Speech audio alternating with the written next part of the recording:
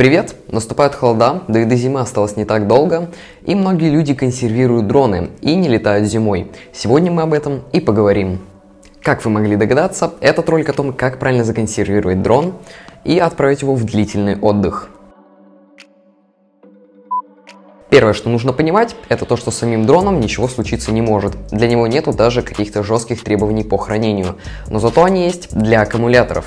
Итак, перед тем, как консервировать дрон, нам нужно разрядить его батарейку до 20-25%. Это можно сделать тремя способами.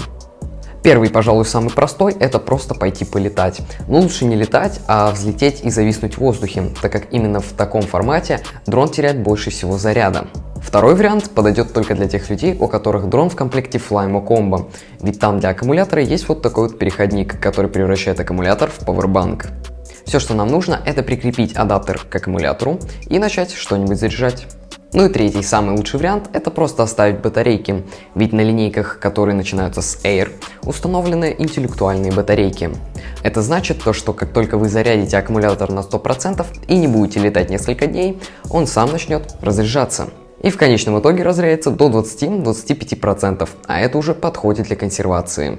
Итак, с аккумуляторами дрона мы плюс-минус разобрались. Но есть же еще пульт, а в нем тоже есть аккумуляторы.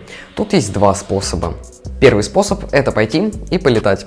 Но, скорее всего, у вас уйдет несколько дней, чтобы разрядить пульт до нужных процентов. А вот второй способ максимально легкий. Все, что нам нужно, это подключить телефон или планшет к вашему пульту управления, зайти в DJI Fly и нажать «Зарядка телефона». Таким образом, ваш пульт будет уступать неким пауэрбанкам и разрядится намного быстрее. Ну и под конец, положите аккумуляторы в теплое, сухое, темное место для большей сохранности. Ну вот такой вот небольшой ролик получился. Скоро увидимся. До скорых встреч. Пока.